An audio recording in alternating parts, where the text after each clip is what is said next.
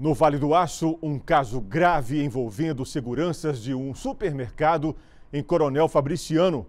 Para conter um suspeito de tentativa de furto flagrado por câmeras de segurança, a equipe o abordou fora do estabelecimento.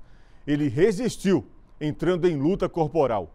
Ao ser imobilizado, como dizem os praticantes de artes marciais, o homem apagou a polícia militar foi acionada e, ao encontrar o suspeito em situação crítica, o colocou em uma viatura. Ele foi levado para o hospital José Maria Moraes, mas deu entrada na unidade já sem vida.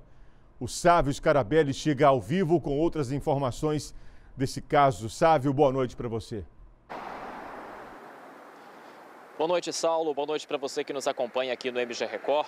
Saulo, realmente um caso impressionante, né, que chamou muito a atenção de quem passava ali pelo centro de Coronel Fabriciano, no Vale do Aço. Esse caso foi registrado nessa segunda-feira. Segundo a Polícia Militar, este suspeito de cometer furtos ali no supermercado é um homem de 55 anos. Ele foi imobilizado é, na área externa do supermercado.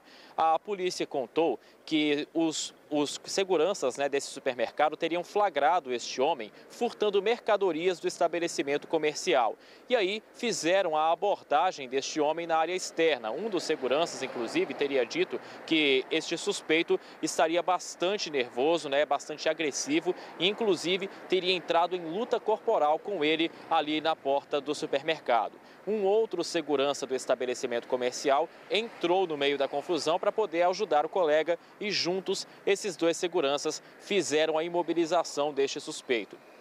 Em um determinado momento dessa imobilização, este homem é, teria perdido a consciência. Inclusive, quando a polícia militar chegou até o supermercado, né, encontraram lá uma grande confusão, uma aglomeração enorme de pessoas, esse homem já estaria inconsciente e com sinais vitais baixos. Ele foi levado então na viatura da Polícia Militar para o Hospital José Maria Moraes, juntamente com os dois seguranças envolvidos na confusão.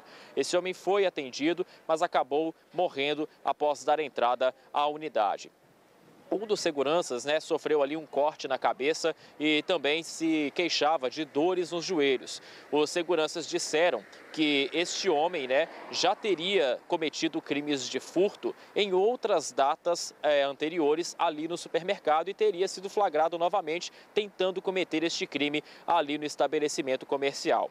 A Polícia Militar disse que ele teria tentado furtar do supermercado nesta segunda-feira cinco latas de cerveja, uma garrafa de cachaça e também um kit de barbeador. Esse material foi levado para a delegacia juntamente com os dois seguranças envolvidos no caso, que agora vai ser investigado pela Polícia Civil. Eu volto com você, Saulo. Ok, Saf, obrigado pelas suas informações por enquanto. Amanhã no Balanço Geral outras informações. Por enquanto, a empresa se posicionou por meio de nota. A diretoria informa que apenas tomou conhecimento do ocorrido no início da tarde e que está tomando todas as providências possíveis para apurar todos os detalhes desse fato. Aproveita ainda para deixar claro que repudia toda e qualquer tipo de violência dentro ou fora de suas dependências, independente dos fatos ocorridos e que nos seus 65 anos de existência jamais viveu esse tipo de situação, pois sempre prioriza o respeito aos seus funcionários e clientes, inclusive participando e envolvendo suas equipes em ações sociais na busca do respeito e da valorização do próximo. Após colhida todas as informações, iremos manifestar junto aos nossos clientes e colaboradores, é o que diz a empresa de supermercado por meio de uma nota.